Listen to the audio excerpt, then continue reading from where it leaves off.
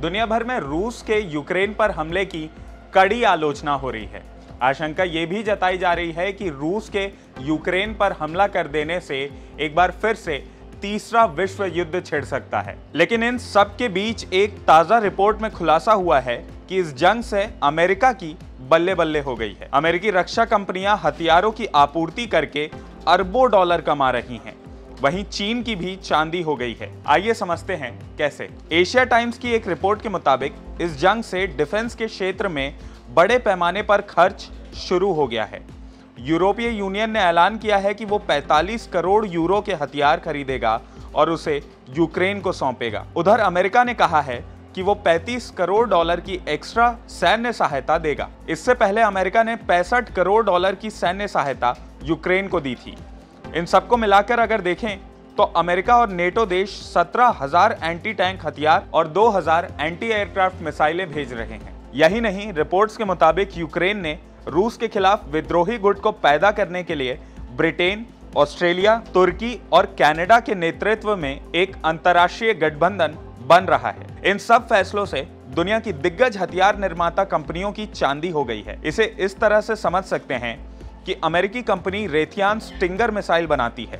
इसके अलावा रेथियान Lockheed Martin के साथ मिलकर जेवलिन एंटी टैंक मिसाइल भी बनाती है, जिसे अमेरिका और दूसरे नेटो देशों ने बड़े पैमाने पर यूक्रेन को दिया है। यूक्रेन पर रूस के हमले के बाद से ही लॉकहीड और रेथियान के शेयर के दाम 16 परसेंट और 3 परसेंट तक बढ़ चुके हैं।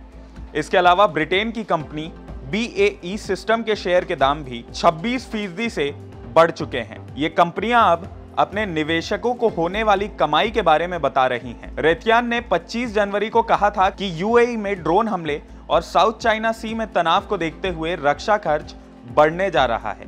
इससे हमें फ़ायदा हो सकता है। अब यूक्रेन की जंग शुरू होने के बाद जर्मनी और डेनमार्क दोनों ने ही रक्षा बजट बढ़ाने का फैसला किया है। हथियार उद्योग की बात करें तो इसमें सबसे आगे अमेरिका है। साल 2016 से लेकर साल 2020 तक के बीच दुनिया में कुल बिके हथियारों में से सैंतीस फ़ीसदी अमेरिका ने ही बेचे थे। इसके बाद रूस ने 20 फ़ीसदी, फ्रांस 8 फ़ीसदी, जर्मनी 6 और चीन 5 फ़ीसदी हथियार बेच चुका था। इन देशों के अलावा कई और देश हैं जो इस भीषण जंग से जमकर कमाई कर रहे हैं। इसमें तुर्की सबसे आगे है, जो रूस की चेतावनी के बाद भी यूक्रेन को अपने घातक हमलावर ड्रोन दे रहा है। इससे उसका हथियार उद्योग चमक गया है। इसके अलावा इसराइल का रक्षा उद्योग भी जमकर कमाई कर रहा है। उधर रूस को इस झगड़े से करारा झटका लगा है। पश्चिमी देशों के प्रतिबंध की वजह से रूस का रक्षा उद्योग भारी नुकसान उठा रहा है। रूस से भारत लगातार अपने हथियारों को खरीद रहा है।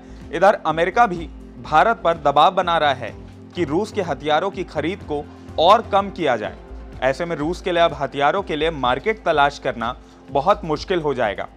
रूसी हथियारों की कमी से अब हथियार बाज़ार में अमेरिका और पश्चिमी देशों का कब्जा बढ़ सकता है। इसके अलावा चीन अब खाड़ी देशों में हथियारों की बिक्री को बढ़ा सकता है। हाल ही में चीन को यूएई से एक बड़ा ऑर्डर मिला है। कुल मिलाकर कहें तो इस जंग से जहाँ यूक्रेन और रूस तबाह हो रहे हैं, वहीं अमेरिका और चीन की बल्ले बल्ले हो गई है। ऐसे में आप समझ ही सकते हैं कि रूस और यूक्रेन के बीच छिड़ी इस जंग में विलेन ना तो रूस है और ना ही यूक्रेन, बल्कि अमेरिका। तो आज के इस वीडियो में इतना ही। अगर आपको ये वीडियो पसंद आया हो तो इसे लाइक और शेयर करना ना भूलें और आईबीसी 24 के यूट्यूब चैनल खबर विभाग को ज़रूर सब्सक्राइब करें। नमस्कार।